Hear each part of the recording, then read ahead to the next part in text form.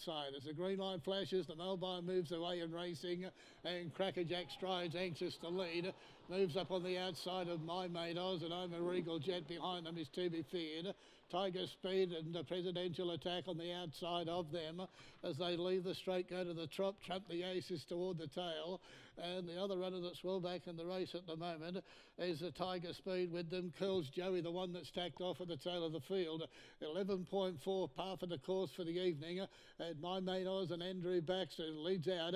Tiger Speed's about to join it up on the outside and Crackerjack Joe between them. Uh, they're having a little bit of a tussle, those two starters, as they go to the bottom corner. To be Fairs in behind them. And then as they go to the top, oh, Homer Regal Jets tucked away behind them, fourth a quarter in 30.2 as they swing into the straight. And my mate Oz is still clear. Presidential attack back midfield. And then as they come into the straight, the horse that went back quickly, Tiger Speed. And then trump the aces toward the tail of the field with Curls Joey.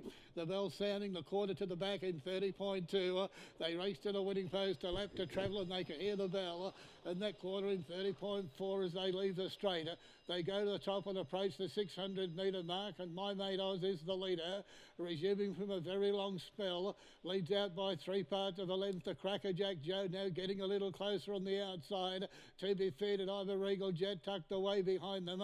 Presidential attack coming from a long way back to be feared, right up behind them. And Tiger Speed and Curls Joey behind them. To the back they travel Uh, down toward the 400 metre marker, uh, and that quarter will show as they go to the 300 uh, at 30.6. They're homeward bound the bottom circle, and uh, on the inside the leader is my mate Oz, but quickly joined on the outside by Crackerjack Joe, and coming around them, presidential attack, three wide curls, Joey coming into it, and we've got a great finish coming up in race six on the program.